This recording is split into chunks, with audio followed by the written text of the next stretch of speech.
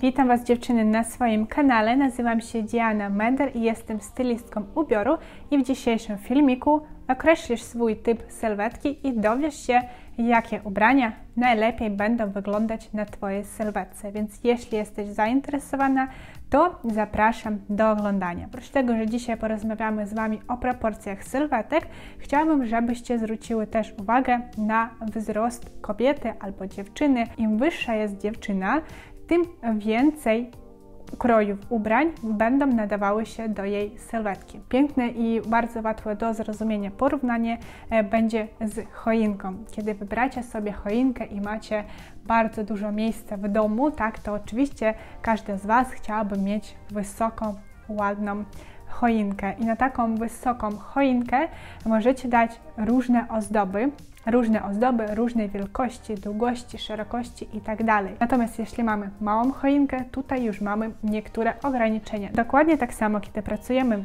z sylwetką, należy najpierw przeanalizować jej plusy, minusy i oczywiście jaki jest wzrost. W internecie możecie znaleźć ogromną ilość podziałów, e, sylwetek, to może być 5, 6, 12, 14, natomiast ja pozostaję przy pięciu typach. Będzie klepsydra, trójkąt, odwrócony trójkąt, mamy jeszcze kolumnę i jabłko. Żeby dowiedzieć, jaki masz typ sylwetki, należy zmierzyć obwód swoich ramion i odwód swoich bioder. I na podstawie tego patrzymy, jaka jest różnica między szerokości barków a szerokości biodrami. Jeśli nie ma różnicy, to znaczy, że masz sylwetkę albo kolumnę, albo klepsydrę. Zostało nam tylko popatrzeć na talię, czy talia jest wcięta, czy talii nie ma. Jeśli mamy wyrazistą talię, to masz sylwetkę klepsydry. Jeśli talii nie ma, to zostaje nam typ sylwetki e, kolumna albo litera H. Jeśli mamy ramiona wąższe niż biodra, to wtedy mamy trójkąt albo gruszkę. Jeśli mamy na odwrót, czyli ramiona wyraziste,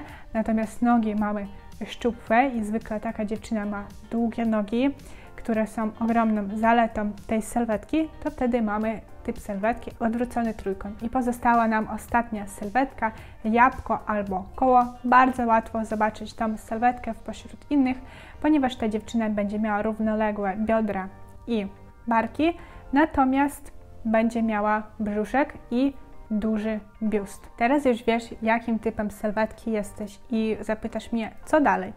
Ok, ja Ci powiem tak. Następne pytanie, na które musisz sobie odpowiedzieć, to do jakiego typu sylwetki Ty zmierzasz. Na przykład, powiedzmy, że mamy trójkąt, czyli gruszkę.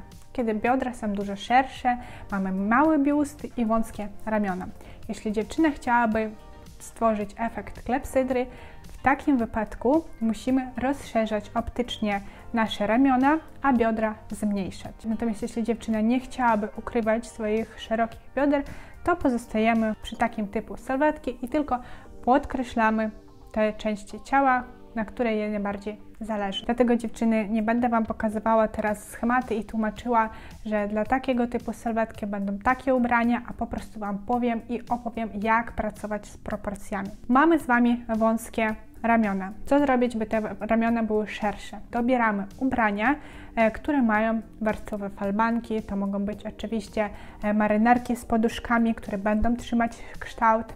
E, to będą wzory, to będą grube materiały, grube tkaniny, które trzymają kształt. To mogą być też duże kołnierzyki, jak ja tutaj mam, czyli wszystko, co tworzy nam objętość. Jeśli chodzi o dekolty, to dekolt w serek kwadratowy, im bliżej znajdują się ramionczka od y, koszulki do szyi, tym bardziej rozszerza nam ramiona. Oczywiście otwarty dekolt i dekolt łódka. Jeśli mamy mały biust, to wybieramy koszule z kieszeniami. Mogą być to też na przykład różnego typu falbanki warstwowe. Też mogą być wzory i lejące tkaniny, ponieważ lejące tkaniny dodają objętości e, i golfy dekolt hiszpański kwadratowy i okrągły będzie optycznie powiększał e, nasz biust. Jeśli mamy szerokie ramiona i mamy za zadanie je zmniejszyć, to wybieramy e, dekolty asymetryczny, e, prosty dekolt, serce bez ramionczek, albo żeby ramionczka znajdowały się daleko od szyi, ewentualnie jeszcze w serek, ponieważ w serek wydłuża i wyszczupla nasze ramiona. Jeśli mamy z Wami szerokie biodra i nie chcemy tego podkreślać, chcemy zmniejszyć i wyszczuplić nasze uda, w takim razie wybieramy spódnicę kroju A, spódnice asymetryczne i unikamy warstwowych falbanek w okolicach bioder. Spodnie typu cargo będą rozszerzać i powiększać biodra, ponieważ takie spodnie mają na sobie naszywane kieszenie i często są jeszcze kontrastowe szwy, a każdy kontrast, każdy element dodatkowy naszywany na ubraniu dodaje objętości. To oczywiście trzeba brać pod uwagę. Co na długość spodnie typu culotte oczywiście też będą skracać długość nóg, skracać nasz wzrost i rozszerzać nasze biodra. Jeśli zakładamy dżinsy typu boyfriend przy sylwetce gruszka, w takim razie powiększamy nasze biodra. I oczywiście dżinsy typu skinny, slim też będą podkreślać nasze szerokie biodra. Natomiast powiecie mi, ale Diana, ja bardzo lubię skinny dżinsy e, i mam typ sylwetki gruszka. Co możemy zrobić? W takim razie gramy tutaj z drugą częścią naszego ciała, czyli z górą. W takim przypadku musimy ją rozszerzyć i na przykład ja zrobiłabym tak, gdyby miałam taką klientkę, która uparła mi się i bardzo by chciała zostawić te skinny jeansy, wybrałabym na przykład szare albo czarne, bez żadnych przetarć, to by nie były jakiegoś jaskrawego, niebieskiego koloru. Z jaśniejszymi plamami, ponieważ każdy e, plama przetarcia będą rozszerzyć nam biodra, a górę bym po prostu powiększyła optycznie za pomocą poziomowych pasków, albo, albo stworzyłabym dwuwarstwową stylizację, czyli założyłabym dopasowany t-shirt i marynarkę z większymi poduszkami. I wtedy bym wyrównała proporcje naszej sylwetki. Jeśli wybieracie ubrania asymetryczne, tak jak powiedziałam Wam wcześniej, spódnice z rozcięciami, z jakimikolwiek y, marszczeniami będą zmniejszać optycznie nasze biodra, dlatego na przykład wybierajcie spódnice asymetryczne, ponieważ asymetria zawsze będzie zmniejszała nam objętość. I to, dotyczy, i to dotyczy oczywiście e, też obwodów naszych ramion. Jeśli wybieracie asymetryczny top, e, asymetryczny long sleeve, oczywiście tutaj rozmawiamy o dekolcie, to będzie zmniejszało Wam ramiona i też rękaw reglan jak najbardziej zmniejsza obwód ramion. Pytanie co do brzuszka, jak go ukryć? Wybierajcie ubrania prostego kroju, niedopasowane, żeby była delikatna przestrzeń pomiędzy e, ciałem a ubraniem i oczywiście zwracałabym uwagę na dekolt. Dobrałabym tutaj dekolt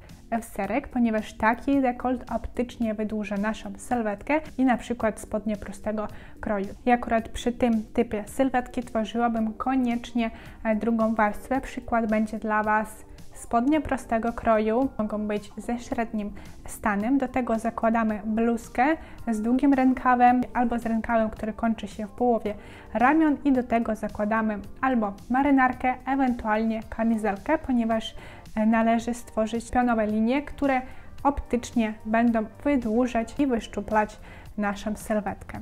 Spódnice z zakładką albo spódnice kopertowe będą podkreślać talię, więc jeśli dziewczyny zależy Wam na tym, żeby podkreślić Waszą smukłą talię, wybierajcie właśnie takie sukienki. Oczywiście sukienki dopasowane, koktajlowe e, albo sukienki ołówkowe jak najbardziej też będą podkreślać wasze, Waszą talię, biodra i biust. Chciałabym, abyście też zwróciły uwagę na to, że też optycznie możemy wydłużać nasze nogi. E, w takim przypadku dobieramy spodnie z wysokim stanem. Długość musi być normalna, nie skrócona. E, do tego możemy zakładać albo obcasy, nawet 4-5 cm, albo wybierać e, buty na grubsze podeszwie. Teraz są aktualne mokasyny i e, buty na platformie, więc jak najbardziej możemy bardzo łatwo wydłużyć nasze nogi i wybieramy skrócone ubrania. To mogą być skrócone koszuli, bluzki, crop topy i skrócone marynarki. Można kupić od razu sobie zestaw e, spódnica kroju A, może być długości mini albo midi. Chciałabym jeszcze odznaczyć e, osobno marynarki, marynarki dwurzędowe. będą powiększyć sylwetkę. Marynarki jednorzędowe będą ją wyszczuplać. Więc jeśli mamy sylwetkę jabłko, w takim przypadku dobieramy marynarki i kamizelki koniecznie jednorzędowe. Jeśli mamy szczupłą sylwetkę i chcemy ją optycznie rozszerzyć, dobieramy marynarki dwurzędowe. Dokładnie to samo mamy i ze spodniami. Są spodnie, które mają na sobie podwójne kanty. Im więcej mamy zakładek, im więcej mamy falbanek, im więcej mamy kant, kantów, kant, tym bardziej powiększymy naszą sylwetkę. Jeśli mamy szerokie biodra, w żadnym przypadku nie dobieramy spodnie z podwójnymi kantami. E, ogólnie ja bardziej lubię spodnie z pojedynczymi kantami, natomiast bardzo ciężko znaleźć takie spodnie, ale po prostu bierzcie to pod uwagę, że jeśli chcecie siebie wyszczuplić, koniecznie pojedyncze kanty i jednorzędowa marynarka. I ostatni trik, żeby wyszczuplić swoją sylwetkę, należy połączyć dwa triki. Pierwszy to będzie e, stylizacja w jednym kolorze. Powiedzmy, wybierzmy kolor biały, ubieramy się na biało, chociaż możecie powiedzieć mi, Diana, przecież biały kolor i ogólnie jasne kolory powiększają sylwetkę. Natomiast jeśli do naszej stylizacji dodamy kolejną warstwę, czyli marynarkę, kurtkę, płaszcz albo kamizelkę i będzie, uwaga, kolor kontrastowy, to wtedy za pomocą łączenia tych dwóch trików wyszczuplimy naszą sylwetkę. Dziewczyny, oczywiście istnieje dużo więcej zasad i e, trików, jak wyszczuplić, jak wydłużyć sylwetkę, jak pracować z proporcjami. Natomiast dzisiaj opowiedziałam Wam podstawy, z którymi należy na razie zapoznać się i nauczyć się. Mam nadzieję, że ten filmik Wam się spodobał. Jeśli macie jeszcze jakieś pytania dotyczące Waszej sylwetki, możecie pisać w komentarzach, a ja będę Wam tłumaczyć. Dziękuję Wam bardzo za oglądanie, życzę Wam miłego dnia i do zobaczenia.